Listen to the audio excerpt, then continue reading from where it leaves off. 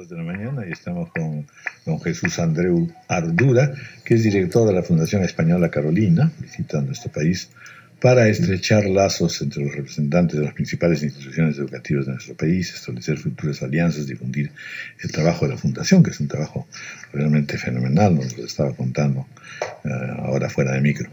Bienvenido, muchas gracias por estar con nosotros. Bien hallado, muchas gracias. Fundación Carolina, española, pero que en realidad está al servicio de América Latina, como nos ha comentado.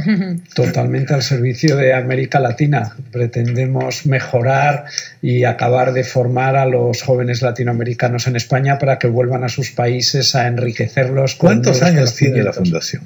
Pues exactamente 15. Se fundó en el año 2000, en, a finales del mes de septiembre, así que acabamos de cumplir nuestros primeros 15 años. ¿Y en cifras en estos 15 años qué ha ocurrido? Tanto en términos de becarios, etcétera. Bueno, yo creo Pero que además, las, ¿con qué fondos trabaja? Las cifras son muy apabullantes porque en, en 15 años de, de, fundación hemos, hemos eh, formado a más de 15.000 eh, jóvenes latinoamericanos. Hemos tenido más de 15.000 becarios ya, con una inversión en millones de dólares absolutamente importante. Solamente en Perú, solo en Perú, han sido cerca de 15 millones de, dólares y a estudiantes peruanos les hemos dado en este momento 1.200 becas. Por lo tanto, hemos hecho, creo, mucho por el conocimiento y la cultura y por estrechar los lazos entre España e Iberoamérica de, de esta manera tan noble, ¿no? la educación y la cultura. ¿Ofrecen becas de posgrado, de pregrado? ¿Cuáles son las, las especialidades a las que puede aplicar una persona interesada? solamente posgrados y doctorados. Nosotros uh -huh. lo que hacemos es que a los estudiantes ya muy bien formados por, por sus universidades uh -huh. de, de, origen les ofrecemos la posibilidad de ir a España a hacer un posgrado o en otros casos a hacer un doctorado. ¿Y se privilegia algún tipo de, de carrera o puede...? No, no, esa es una de las grandes cosas de, de, la Fundación Carolina y de la que más orgullosos estamos. Pensamos que tener sociedades plagadas de, de artistas podría ser muy atractivo desde un punto de vista romántico, pero sería absurdo. Pero imaginemos también unas en las que solo hubiera científicos. Tenemos becas que abarcan desde la música y las artes plásticas a todas las áreas de la medicina, la gestión de negocios, ahora estamos haciendo mucho hincapié en el emprendimiento, damos también becas de cine, es decir, yo creo que el problema puede ser no ser seleccionado para estas becas que son de excelencia y son muy competitivas. Ahora bien, no creo que haya ¿Y cómo se fijan las ramas? ¿Hay números, cláusulas?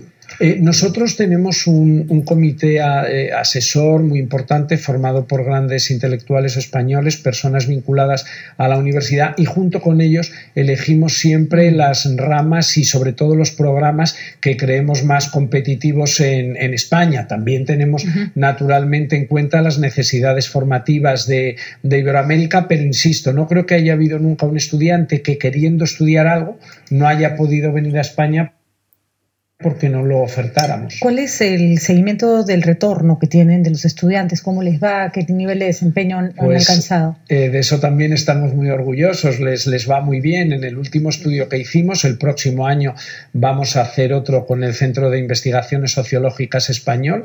Eh, quiere decir, eh, los, los, datos que aporta es que más del 95% de estos estudiantes están trabajando. No quiere decir que ese 5% esté en el desempleo. Hay mucha gente que opta mm. por seguir estudiando o por interrumpir eh, provisionalmente su vida laboral. El 52% mejora su estatus laboral al regreso al país después de haber tenido la beca y ya más del 30% ocupa puestos directivos en los diferentes países. Si tenemos en cuenta que tienen en torno los más mayores a 40 años, pues realmente estar en el 30% directivos es mucho. ¿Con bueno, qué universidades toman contactos? ¿Cuál es la red que se establece, digamos, para...? Eh, nosotros tenemos eh, varios miles de convenios ya con universidades latinoamericanas y españolas. En el caso de los estudios en, en, en, España, nosotros trabajamos con todas las universidades en todas las comunidades autónomas y en una proporción aproximadamente del 60% de universidades públicas y el 40% privadas.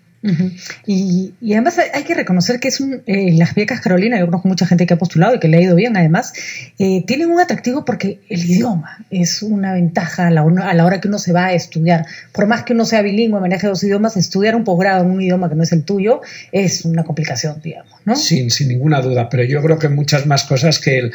Que el, que, el idioma. ¿no? Yo hace poco decía en, en, un artículo y a mucha gente le gustó que nosotros, más que una comunidad lingüística, que por supuesto, eh, una de las, la segunda más importante del mundo, somos sobre todo una comunidad emocional. A mí lo que me gusta ver es cómo llegan eh, los estudiantes a España, cómo son acogidos por, por, los españoles y cómo se sienten ellos de, de a gusto, tan en casa y viendo que aunque una sociedad, la española, que aparentemente es muy diferente de las latinoamericanas, tiene un sustrato común que precisamente es lo que demuestra esa comunidad emocional. También en la política, son efectivamente, Para lo bueno y para lo malo. Compartimos muchas cosas buenas y algunas malas. ¿Cómo se financia todo este sistema y a futuro, este viaje, esta gira que está usted realizando, qué cosas debería plasmar?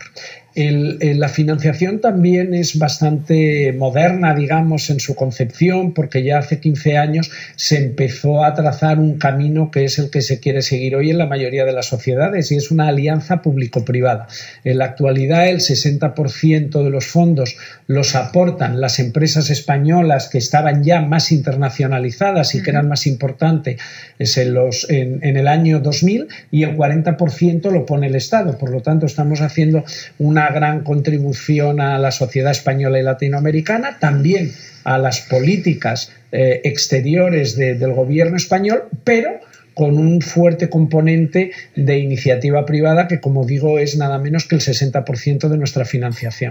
Ahora hay que reconocer que si bien el proceso de selección es duro, porque hay, hay postulantes a todo, en toda Latinoamérica, la postulación es sencilla. En la página web están los requisitos, uno llena ahí el formulario, no es un, un trámite engorroso ni complicado. Efectivamente, para que los estudiantes tengan pautas claras, ya desde hace unos años, el día 1 de diciembre, nosotros abrimos una convocatoria que está abierta para aplicar más o menos durante tres meses y entrando en nuestra eh, página web.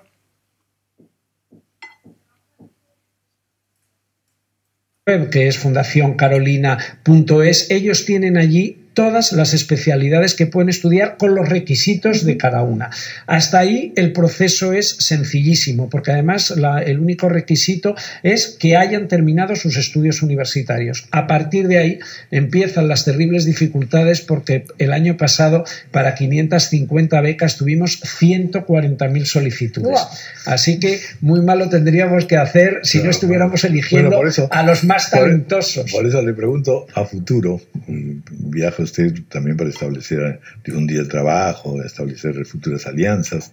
¿Cómo, cómo se visualiza eh, el, trabajo de la Fundación eh, nosotros estamos intentando latinoamericanizar más aún la, Fundación, si eso se puede decir, y desde hace unos años estamos intensificando las relaciones bilaterales con instituciones educativas eh, importantes. En el caso de Perú es clarísima nuestra alianza con, con Pronave, que es una institución a la que apoyamos con entusiasmo, porque realmente reconocemos que el esfuerzo que ha hecho el Perú en materia educativa en este años es absolutamente eh, asombroso y ejemplar. Y luego también estamos intentando desde hace unos años, pero esto es más difícil porque obtener dinero nunca es fácil. Eh, establecer eh, alianzas con diferentes empresas latinoamericanas que también estuvieran dispuestas a financiar becas para jóvenes. Muy bien. Muy bien, suerte entonces a todos los postulantes. Sí, eso les deseo a todos y que se formen muy bien. Debería ser un llamamiento acá, una reunión con los postulantes.